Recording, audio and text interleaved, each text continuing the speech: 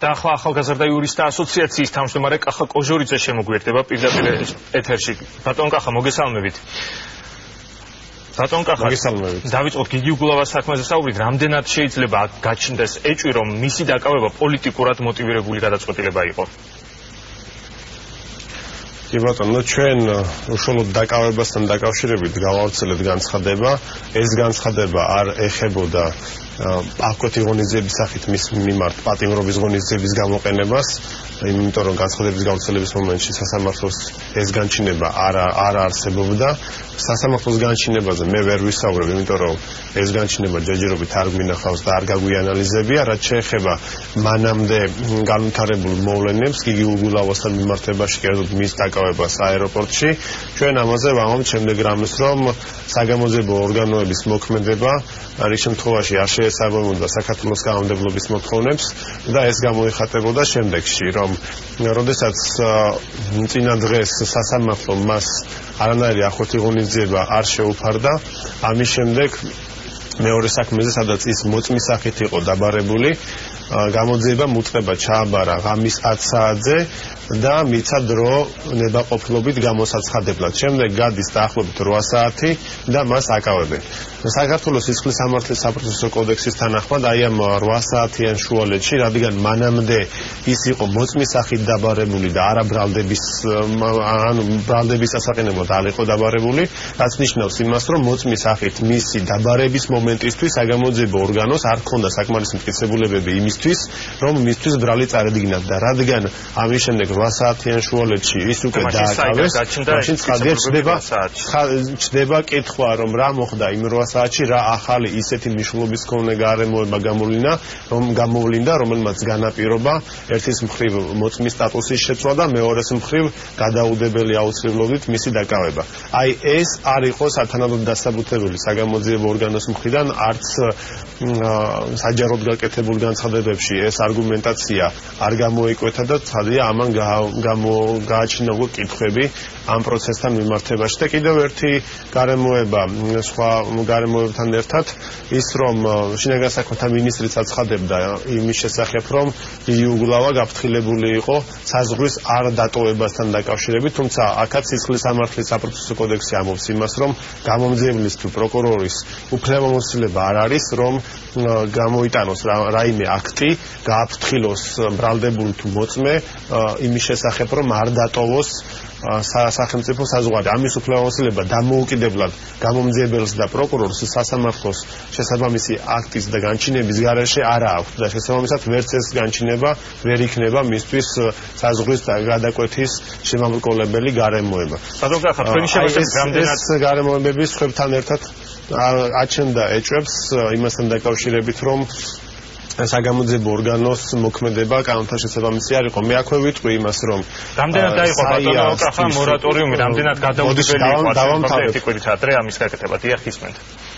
კი ბატონო, პირველ რიგში იმას ვიტყვი, რომ საქართველოს ახალგაზრდა იურისტთა ასოციაციას არაერთი კვლევა აქვს წლების განმავლობაში გაკეთებული. უშუალოდ მერიის მხრიდან თანხების ხარჯვის კანონიერებასთან დაკავშირებით და ჩვენ გვაქვს უამრავი კითხვა რომელიც ამ პროცესში ვლინდებოდა და მილიონობით ლარი სად მიდიოდა ეს უაღრესად გამჭვირვალე გაუმჭვირვალე პროცესი იყო.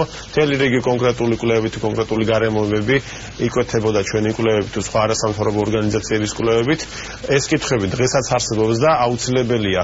ამ კითხვებზე პასუხის გაცემა ცხადია, მაგრამ მეორეს მხრივ ასევე ჩვენი ინტერესია, რომ არც დღეს და არც მომავალში სამართლდამცავ ორგანომ არ იმოქმედოს ისე, რომ თავად დაარღვიოს სისხლის სამართლის საპროცესო კოდექსით თუ კონსტიტუციით განსაზღვრული უნიშნულოვანესი პრინციპები, იმიტომ რომ ამით ადგება ზიანი თავად ამ ორგანოს და ჩვენი ერთ-ერთი უმთავრესი ინტერესი არის სწორედ ის, რომ ქვეყანაში შეიქმნას ინსტიტუციების სამართლდამცავი ორგანოების სახით, რომელიც უპირველეს ყოვლისა თავად იქნება დამცველი იმ პროცესუალური გარანტიებისა, რაც არსებობს ჩვენს კანონმდებლობაში.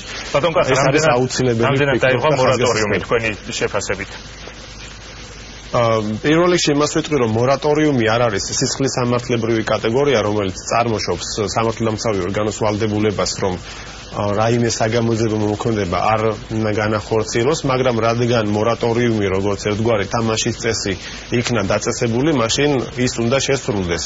მორატორიუმის ადგენის დროს ითქვა ის, რომ მორატორიუმი მხოლოდ კანდიდატებთან მიმართებაში კი არ იმოქმედებდა, არამედ ნებისმიერი პირი, ვინც საარჩევნო პროცესში აქტიურად იყო ჩართული, ასევე საგამოძიებო მოქმედებები თუ არ იქნებოდა რაღაც განსაკუთრებული და გადაუდებელი აუცილებლობით განპირობებული, მაშინ მის მიმართ ეს არ განხორციელდებოდა.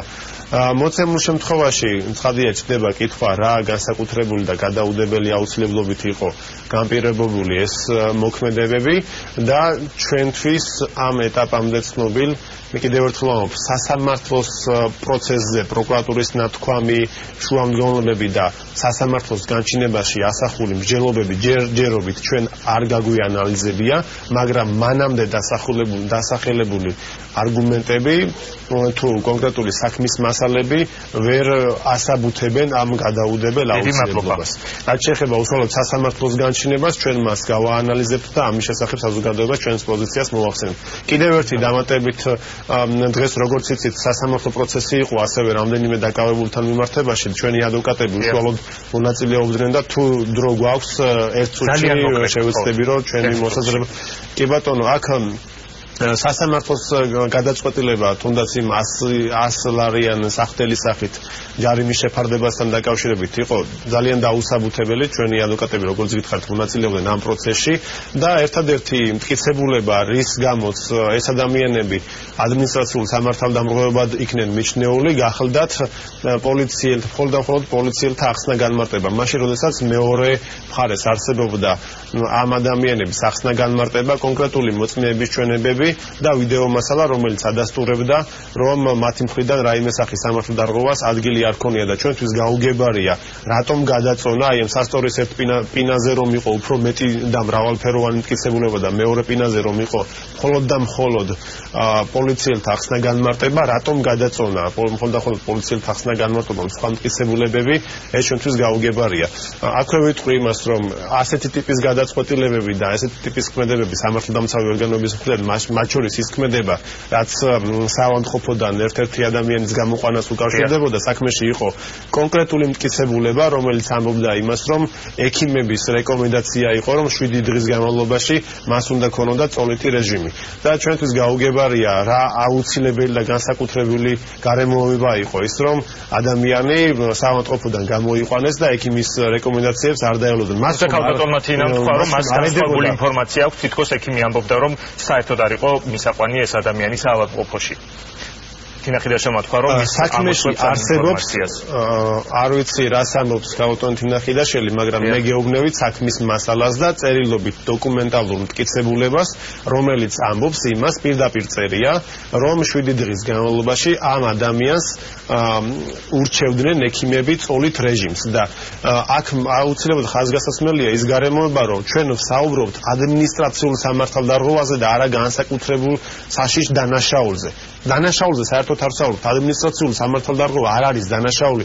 ანუ ამ ადამიანს სამართალდამცავი ორგანო არ ედავებოდა განსაკუთრებული საშიშროების მქონე ქმედების ჩადენაში და მით უმეტეს არ არსებობდა ასეთი გადაუდებელი აუცილებლობა. საბოლოო სანქციებაც ხომ ეს გამოავლინა ხო? ანუ საბოლოო ადამიანს დაუნთქვის და ისო მწულიმანი ხულიგნობა კი 100 ლარიანი ჯარიმისთვის ეხლა ჩდება კითხვა ღირდა თუ არა ადამიანის ჯანმრთელობის რისკის ქვეშ დაყენება ხო? აქ ხო ძალიან მარტივია ასეთი ასეთი მოქმედება რომ არ არის სწორი.